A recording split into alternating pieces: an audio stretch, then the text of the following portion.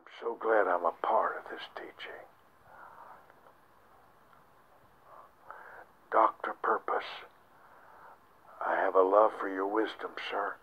I'm in Zambia. Dr. Purpose, email me, please, and give me your shipping address in Zambia. Dr. Purpose, Dr. Mike at thewisdomcenter.tv. I'm begging all of you that have an exceptional. There's three preachers. There's three preachers that have an exceptional obsession for the wisdom of God. You love books of wisdom. Please email me, Dr. Mike at thewisdomcenter.tv. And that's all you have to say.